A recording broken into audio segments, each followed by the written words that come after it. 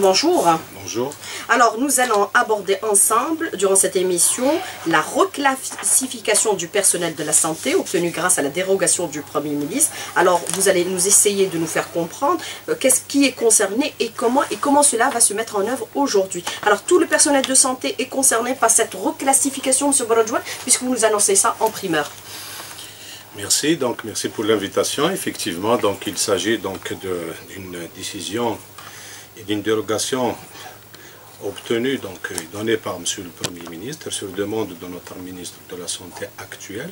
Pourquoi donc il y a eu cette demande de, dérogation? Parce qu'il faut savoir qu'au niveau de notre secteur de la santé, l'ensemble des statuts ont été promulgués entre les années, donc entre l'année 2009, 2010 et 2011, voire même et la fin de, 2000, de 2011.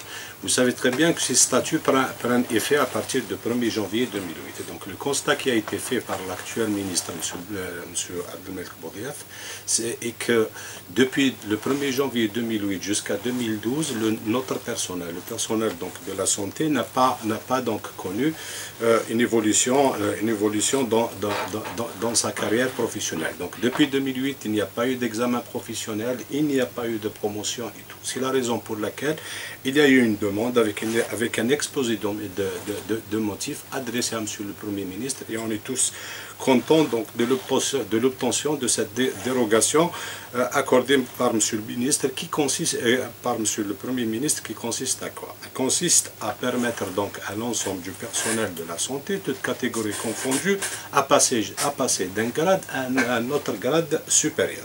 Donc tout le personnel de santé est concerné par cette reclassification. Mais est-ce que cela veut dire quelque part qu'on efface tout et on recommence? Révision des statuts non, automatique pas du tout. Tout ce qu'on va faire, tout ce qu'on va faire, ça sera dans le cadre de l'application des dispositions des statuts actuels. Ça veut dire quoi? Ça veut dire qu'il euh, y aura l'organisation des concours, des, des, concours sur épreuve, des examens professionnels conformément au statut, euh, au statut de chaque, de chaque, de chaque corps il y aura des concours, il y aura, il y aura des concours et, qui va permettre à l'ensemble des personnels qui ont les, les conditions d'ancienneté de passer d'un grade à un autre. Je donne l'exemple des médecins généralistes. Quand on est médecin généraliste de santé publique et que nous avons les conditions d'ancienneté prévues par les textes réglementaires, en passant le, le, concours sur épreuve, on passe de, santé, de grade de santé publique au grade de, de, de principal et on passe aussi de grade de principal au grade de au grade de chef. C'est la même règle qui s'appliquera pour l'ensemble donc des, des, corps que nous avons au niveau de la santé.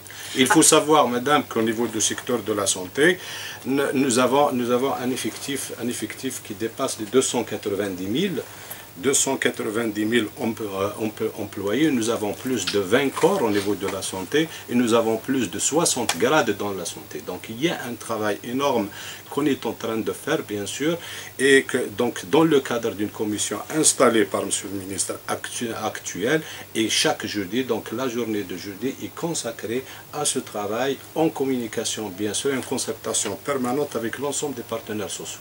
Alors pour le passage de grade, il y aura organisation de concours, c'est ce que vous d'annoncer à l'instant, à partir de quand, de quand est-ce que vous êtes un peu concerté avec la fonction publique, puisque vous donnez les chiffres, 290 000 employés dans le corps de la santé, 20 corps et 60 grades. C'est quand même énorme. Immédiatement, donc après l'obtention de cette dérogation, donc Monsieur le ministre nous a instruit donc à l'effet de prendre contact donc avec les concernés, à savoir donc en l'occurrence la, la, fonction publique. Donc il y a eu donc la, la constitution d'une commission, il y a eu des séances de travail qui ont été donc organisées avec la fonction publique justement pour définir le cadre organisationnel et les modalités donc de déroulement de ces de ces de ces concours et examens. Alors justement, euh, seront concernés aussi par ces concours euh, ceux qui remplissaient les conditions mais qui n'avaient pas pu accéder au grade supérieur durant la période transitoire, vous l'avez signalé tout à l'heure, prévue par les statuts qui a pris fin au 31-12-2012 J'essaye de ne pas être trop technique, mais non, il faut savoir que, pour que les gens puissent comprendre. Que, euh, que, qu'au niveau de notre secteur, tous ceux qui avaient le droit d'être intégrés dans le cadre des dispositions transitoires d'intégration ont bénéficié d'une intégration, d'accord? À condition qu'ils aient les conditions, des conditions d'ancienneté exigées par le, par, par le texte, notamment pour, pour ces nouveaux grades, euh, donc nouvellement, nouvellement créés. Donc il y a eu l'intégration de, de, notre personnel qui avait l'ancienneté exigée à, à, ces nouveaux grades nouvellement, nouvellement créés et institués. Parce qu'il faut savoir que dans le passé, par exemple pour le médecin, médecins généralistes, les, les, santé, les santé publiques, y compris pour les paramédicaux, il y avait la création de nouveaux, de, de, de, nouveaux grades. Dans le passé, il y, avait, il y avait des grades uniques, mais maintenant il y a une gradation. Donc il y a le, médecin généraliste, quand il est recruté, il est dans un grade. Après un certain nombre d'années, il passe son, son, concours. Euh, son concours, il passe à un, deuxième grade et par la suite, il passera aussi au troisième grade. Alors il y aura aussi des incidences financières puisqu'il est question aussi de paiement de toutes les primes et arriérés de salaire. Madame, à compter de quelle date Pour euh, bien l'expliquer? Je viens, je, je, viens de dire que le, le, le statut, de, le statut donc, particulier de l'ensemble des catégories professionnelles de la santé est fait à partir du 1er janvier 2000, 2008. Nous avons eu donc ces statuts en 2011, en 2010, en 2009 aussi. Nous avons eu aussi les décrets portant le régime indemnitaire de chaque catégorie professionnelle. Et dans ce cadre-là, madame, il y a eu donc une, euh, il y a eu une instruction de monsieur le ministre il y avait un suivi même sur le terrain à l'effet d'appliquer et de payer l'ensemble des arriérés, l'ensemble de donc des rappels induits par l'application de ces nouveaux de ce nouveau statut. Et à l'heure actuelle, madame, je vous informe que toutes les arriérés, toutes les indemnités donc induites par l'application de ce nouveau texte ont été payées. Actuellement, il y a même il y a même 58 cadres actuellement envoyés par M. le ministre qui sont au niveau de l'ensemble des wilayas qui sont en train de, de justement d'évaluer d'évaluer et de et, et, de, donc et de d'évaluer donc l'application de cette donc, de, de cette directive de M. le ministre.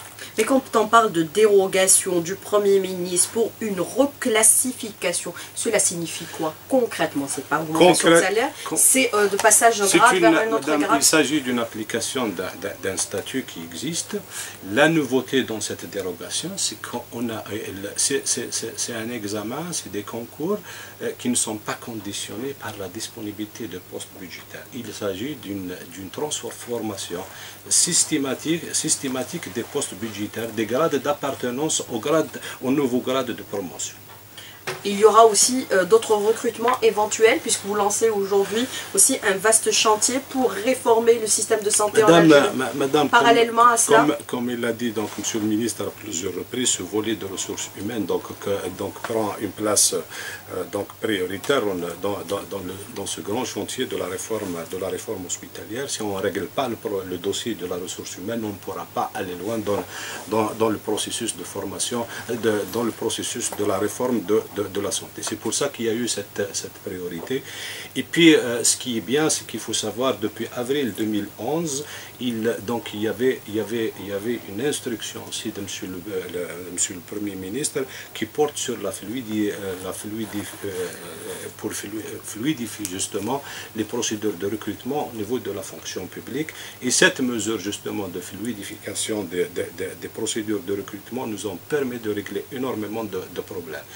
Année, donc euh, l'année 2015, donc avant la fin de, du premier semestre 2015, nous verrons aussi, donc ça c'est aussi la dernière directive de, de, Monsieur le ministre, nous verrons donc la, la, la, régularisation ou la transformation des contrats de plus de, plus de 23 000 agents qui travaillent dans le cadre de contrats euh, déterminés, ils verront leur contrat se transformer à des contrats indéterminés. Si vous voulez, c'est une sorte de, de permanisation à, tout, à tous ces agents contractuels et je pense que c'est une mesure, c'est une mesure très importante, très appréciable et qui va, et qui va permettre donc d'instaurer, donc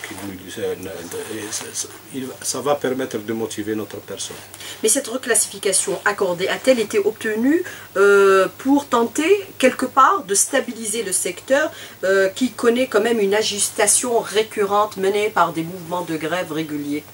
Quel est votre commentaire à propos de cette est, question il est- précisément il est- il est tout à fait clair que nous avons besoin. C'est un secteur là où il y a beaucoup de, il y a beaucoup de, beaucoup de, beaucoup de travail. Il y a un programme vaste. Il y a un grand chantier.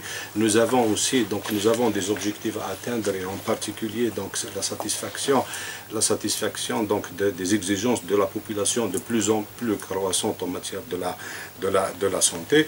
Donc no- no- no- no- notre, notre objectif, bien sûr, c'est d'assurer une stabilité et de, meilleures- et de donner les meilleures conditions et les conditions euh, professionnelles les plus favorables à notre personnel pour qu'il se consacre justement à sa mission noble qui est la prise en charge de la santé de nos citoyens.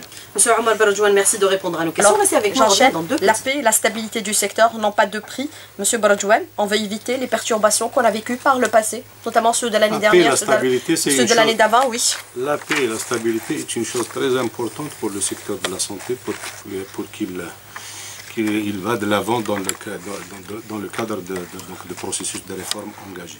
Alors le personnel concerné, 290 000 employés, toutes catégories confondues. Vous êtes en cours de négociation. Tous les jeudis sont consacrés à la négociation avec les différents partenaires. Vous devez achever ces négociations avant le 30 juin 2015. Vous confirmez, M. On Baradjouan n'est pas au stade de négociation, on est, en- on est au stade de la définition de cadre organisationnel et de, dé- de déroulement de ces, de ces examens. Donc il y, a, il y a des commissions techniques qui sont en train de travailler sur le, le- cadre organisationnel de ces concours, parce qu'il faut savoir que ce sera des concours, c'est des concours donc à caractère national et tout. Donc il y a une organisation au niveau central qui est en train de se faire. Mais vous devez tout finaliser avant le 30 juin 2015. On va finaliser les opérations avant, avant la, la- la- la fin du mois de juin 2015. Alors, l'incidence financière a-t-elle été évaluée aujourd'hui, Ah, L'incidence financière, on est en train de, de- de- de- donc de la comptabiliser et tout, mais il, faut savoir qu'il s'agit donc d'un- passage d'un grade à un autre grade.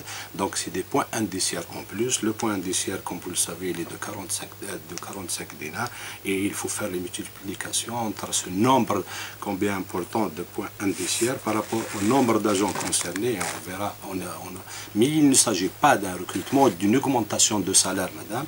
Il s'agit d'une application d'un texte réglementaire qui est là. Donc l'incidence financière, elle déjà incluse dans le cadre de ces postes budgétaires euh, disponibles. Donnez-nous cette évaluation. On est en train de la faire, madame. Mais vous l'avez, M. Baradjouan. Moi, j'ai dit que ça sera, donc, ça sera une incidence financière À peu près de générée. combien Je ne peux pas vous donner exactement le chiffre. On est en train de comptabiliser estimation. ça. C'est une estimation qui sera, qui sera importante, mais elle est incluse dans le cadre de- de- de- du budget de 2015 parce qu'il s'agit déjà de postes budgétaires disponibles. Alors justement, par rapport à, à cette reclassification, la contrepartie, c'est d'améliorer les prestations de santé, puisqu'il y a de vastes aussi chantiers qui sont engagés, à savoir la réforme de la santé aujourd'hui par la loi sur la santé qui sera promulguée prochainement. Euh, il, est, il est- il est tout à fait clair que, que- que quand on a un personnel motivé, qui a une situation professionnelle euh, donc régularisée, ce qu'on cherche de lui, justement, c'est le retour de, la, de l'ascenseur, c'est de, se consacrer pleinement à sa, à sa noble mission qui est la prise en charge et l'amélioration, bien sûr, de la qualité des soins offerts aux citoyens. Fini le temps complémentaire? Euh, on, on le- on verra ça avec la nouvelle loi sanitaire. Alors, autre question d'actualité. Aujourd'hui, on parle d'amélioration des prestations de services au niveau de- de- des hôpitaux. Euh, mais ce qui est déploré, c'est aujourd'hui le manque de personnel à partir de certaines heures. Est-ce que maintenant, avec cette nouvelle motivation, vous serez beaucoup plus regardant? Vous êtes l'inspecteur général aussi au ministère de la Santé, M. Baradjouan. Non, mais vous savez, donc, le- notre secteur, le secteur de la santé, c'est un secteur public par excellence. Il faut savoir que ce, que ce n'est pas vrai. Ce, n'est pas à, tar- à- à 15 heures que les structures de santé se font. Nous sommes le secteur public qui est ouvert, euh, qui est ouvert donc à H24. Les hôpitaux ils sont ouverts H24. Maintenant, il y a même donc dans le cadre de la politique donc euh, et de la stratégie Certains mise- praticiens ne sont plus à leur poste à partir de 15 heures parce qu'il y a le temps complémentaire. Ils pratiquent ailleurs et vous le savez très bien. Ah, mais Monsieur pour, pour ça, madame, il y a des contrôles, y a des, il y a des contrôles, il y a une réglementation qui est en train de s'appliquer, il y a une rigueur par rapport, par rapport à ça, il y a des évaluations dans l'heure actuelle, à l'heure actuelle. donc Vous y je- veillez, vous êtes l'inspecteur Mais général. bien sûr qu'on est en train de veiller, c'est notre mission principale, et- etc. Et c'est- pour ça qu'il ne faut pas, il faut pas dire qu'il n'y a rien et qu'il n'y a rien. Il se trouve que nous sommes dans un secteur, même si on réalise le 9 sur 10, le 9 sur 10, ce n'est pas une bonne note. Il se fait qu'il y ait une petite insuffisance, qu'on ait mal vu quelque part, etc. Donc on est appelé à, à- donc, à, à- à offrir une prestation de santé complète, sinon, sinon, sinon on sera mal noté. Alors on est appelé à améliorer nos prestations en matière d'amélioration de prestations. Qu'est-ce qu'il y aura à l'avenir dans nos hôpitaux? Non, ce qui est. Euh, meilleure organisation, meilleure prestation. Ce qu'il y aura au niveau. Euh, Plus d'humanisation à l'égard des malades. Ce qu'il y aura à, l'avenir, c'est cet ensemble d'instructions qui sont données par l'actuel ministre de la Santé qui l'a résumé, résumé, en 24 points et qui porte essentiellement, comme vous le dites, sur l'humanisation de, des, des, hôpitaux, sur l'amélioration des moyens, donc de moyens mis à la disposition donc, de notre personnel justement pour faire face à cette demande de, à cette demande de, soins de plus en plus euh, donc croissante des, citoyens. Et puis euh, ce qu'il y aura aussi, donc c'est une, une nouvelle stratégie aussi de la santé pour prendre en charge les nouvelles exigences de santé. Il y a des nouvelles, maintenant on ne parle plus des maladies, donc des maladies euh, transmissibles, on parle des nouvelles, de, de, la prise en charge des maladies, des maladies donc, euh, non transmissibles. Vous savez, donc actuellement, les problèmes de la santé publique, c'est les problèmes de la, des, maladies cardiovasculaires, c'est le problème des maladies, donc, euh, des maladies chroniques, c'est le, le, cancer. C'est le cancer aussi. Donc nos priorités, sont adaptés toujours aux besoins réels de santé de, de, santé de la population. Alors, et pour les structures de proximité?